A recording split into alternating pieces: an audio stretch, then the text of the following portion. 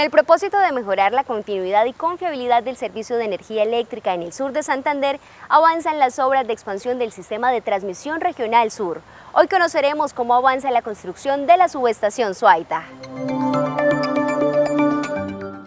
Recordemos que este proyecto se contempla del paquete de obras a ejecutar, la construcción de dos nuevas subestaciones Suaita y Oiba, entre otros proyectos de ampliación y construcción que se adelantan simultáneamente. La obra civil eh, es fundamental porque aunque es un proyecto eléctrico, con fines eléctricos, pues se requiere todo un montaje, pues donde instalar los equipos, las casas de control donde se van a instalar eh, las celdas.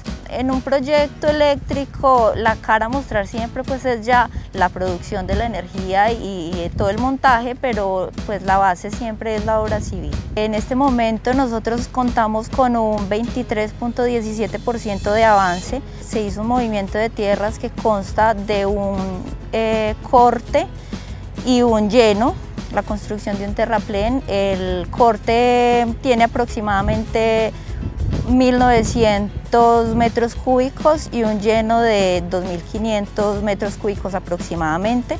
Contamos con un área de plataforma de 2.500 metros cuadrados. Ya iniciamos con la construcción de cimentaciones de patio.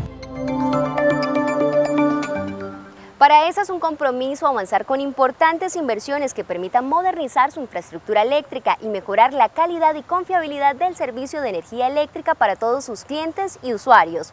Esa energía que transforma.